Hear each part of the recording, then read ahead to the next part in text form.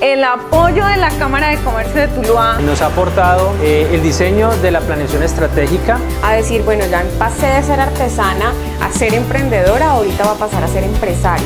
Y para mí es un orgullo ser parte de la familia Crece la Cámara de Comercio de Tuluá. ¿Y tú qué esperas? ¿Y usted qué espera?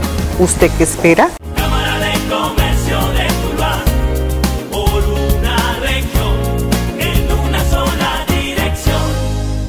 En un hecho confuso, una mujer que fue herida con arma de fuego en un establecimiento público ubicado en el sector de la 40 de Tuluá. Por la gravedad de sus heridas, murió cuando era atendida por los galenos en un centro asistencial.